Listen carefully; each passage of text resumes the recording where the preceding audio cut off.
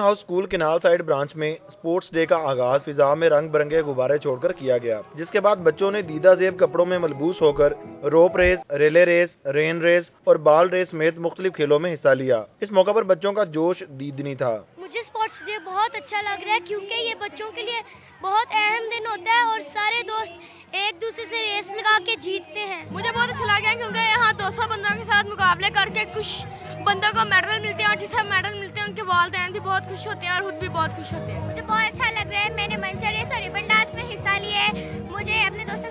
अच्छा लग रहा है। बच्चों की हौसला अफजाई के लिए उनके वालिदैन और बहन भाइयों की बड़ी तादाद भी स्कूल में मौजूद थी जबकि पाकिस्तान वीमेन क्रिकेट टीम की कप्तान सना मीर ने मेहमान खसूसी के तौर पर शिरकत की। स्कूल की प्रिंसिपल समरीन तारिक का कहना है की इस साल स्पोर्ट्स डे को चिल्ड्रन राइट ऐसी मौसूम किया गया है जबकि सना मीर ने कहा की ग्रास रूट लेवल आरोप स्पोर्ट्स मज़बूत करके ही बैन अवी सतह आरोप खेल का मैार अच्छा किया जा सकता है। और स्पेशली कैनाल साइड कैंपस के जो स्पोर्ट्स डे होते हैं उसमें हम एक थीम सिलेक्ट करते हैं। जैसे कि इस दफ़ा हमारी जो थीम है वो प्ले फॉर चिल्ड्रंस राइट्स है।